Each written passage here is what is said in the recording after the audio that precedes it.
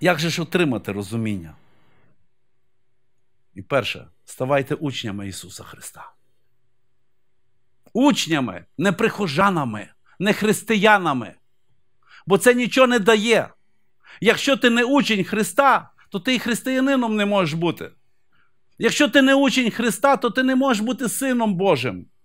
Якщо ти не учень Христа, ти не можеш користатися благодаттю Божою, бо ти не будеш знати як. Тільки Христос, Він справжній вчитель, Його вчення істини. Ти не пізнаєш істину, істина не зробить тебе вільним. Ти не знайдеш царства Божого, тому що ти не пізнаєш істини. Ти навіть не будеш знати, що треба шукати царство Боже. А що таке царство Боже? Де його шукати? А воно в тобі, алілуя.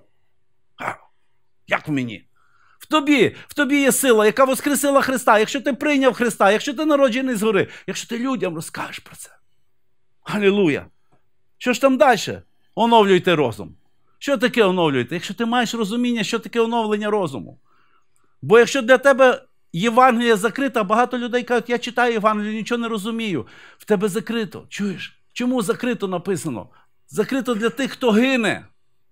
Ну якщо ти не гинеш, тобі слово буде відкриватися, і ти будеш зростати в ньому. Шукайте вчителів тут, тому що Господь каже, що будуть вчителі тут на землі. але вони будуть вчити чого? Вчення Ісуса Христа. І якщо вас вчать іншого вчення, яке не діє, вас вчать вчать, і закінчуєте великі школи, нічого не діє, ні руки не кладете, ніхто не зціляється. Молитесь і молитесь, відповіді нема.